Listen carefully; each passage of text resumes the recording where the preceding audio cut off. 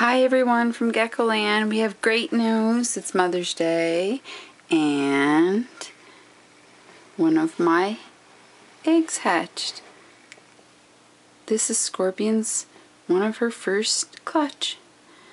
Isn't it cute?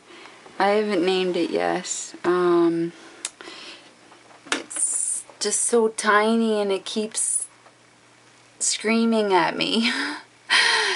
So that's Little Screamer. I'm so happy. Finally, we have one that hatches and I'm just waiting for the second one in that clutch to hatch. So it's great. It's a great day. And I hope y'all are having a great day too. And thanks for watching Geckoland. Bye now.